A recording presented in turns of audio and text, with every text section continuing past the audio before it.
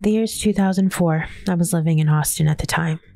It was really like the best time to live in Austin, to be fair. Normal day at work, I went to break, and they had one of those TVs that was on those like old school trolley things. We had a giant lunchroom, and I remember the news was talking about a discovery, an asteroid that was going to slam into us, causing scientists to panic. Torino scale, high chance, Armageddon. I'm sorry, what? Confusion, scientists were scared. And this, of course, was the start of what I like to call the age of my cosmos panic in my life, which I remember both being sort of like a blur of information and panic feeding my anxiety. This one specific trigger. I vomited over this damn rock. Before we get ahead of ourselves, hi, I'm Crystal. This is GettinSpooky, where we talk about the creepy, weird, and obscure. And today, we're talking about, I guess, my Roman Empire, some shit. Today, we're talking about Apophis and how it literally changed my life and taught me what a panic attack really is. Thanks, fucking asteroid.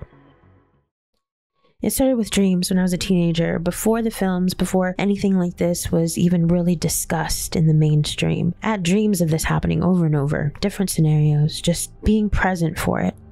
One of the dreams I recall was sitting in a sort of half court basketball court, like a small park watching this large falling star fall to the ground. One time I was at a barbecue. It was late day and it was stormy on one side of the sky, and then the other, the meteor was falling. I mean, you get the point. I should mention though that I usually have really weird dreams to begin with, so it wasn't anything that was concerning to me. It was just one of those, hey, check out the dream I had last night type deal. Well, anyway, then Armageddon and Deep Impact, those films came out at like 1999, and they were mostly sad and destroyed my teenage emotional heart with the love stories. So it wasn't really something that scared me. Deep down, I guess I just thought that the government or the people in charge, whatever, would fix it. Well, Apophis was discovered on June 19th, 2004, by Roy A. Tucker, David J. Tholen, and Fabrizio Bernardi. And they were using their equipment at the Kitty Peak National Observatory. I think it's in Kitt Peak. I think it's in Arizona. Don't quote me on that. I often wonder, like, when you discover something, why you would name it something so doom and gloom considering. You know, like Apophis is the Egyptian god of chaos. Didn't they have like a list of names that you could like use? What if they did confirm Planet X and the dude that found it wanted to name it Nibiru? I mean, the opportunity is there. Why wouldn't you take it, right? Well, the thing is, is that it turns out the scientists that discover it were fans of Stargate 1 and it was their favorite character. So that answers that question. Either way, when it was discovered, it was a pure don't look up moment. It scared the hell out of the scientists involved. In December 2004, when initial observations were done, it indicated that the probability was about 2.7% that it would hit Earth on April 13th, 2029, Friday, because of course. Almost 3% may not seem like a lot, but in terms of space and mass casualty type shit, 2% is quite a lot. So naturally, astronomers were concerned. They mathed and they mathed and they mathed.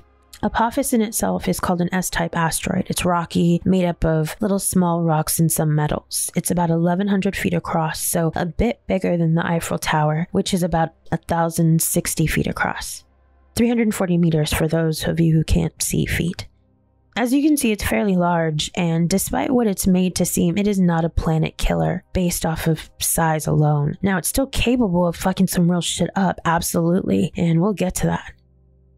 On its first flyby, because there's three very close ones, the first one happening on Friday the 13th, we talked about. It will be lower than most satellites in the sky visible to the naked eye in parts of this southern hemisphere, and will be about as bright as the stars in the Little Dipper. It'll pass about 19,794 miles above our surface, so about 3,100 meters if we want to get all numbery.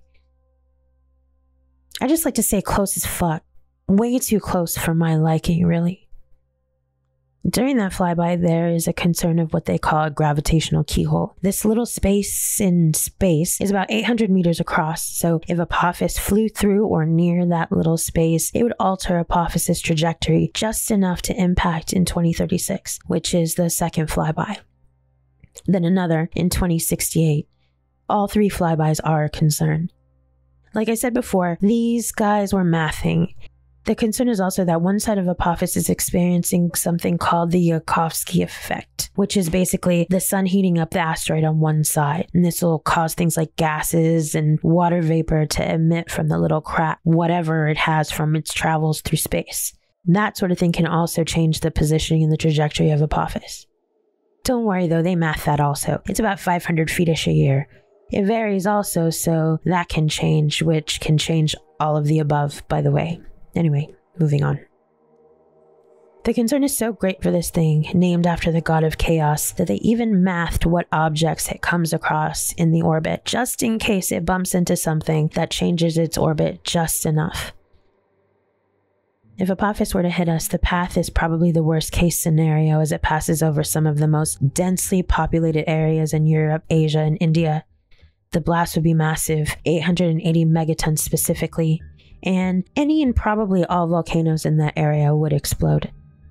If it comes in at a 45 degree angle, its crater would be about 0.5 kilometers deep, with the crater itself being about 2 kilometers wide or 1.2 miles. Just to compare, the crater in Arizona, the meteor crater, measures about 0.75 miles across and is about 600 feet or 180 meters deep. And that crater is massive.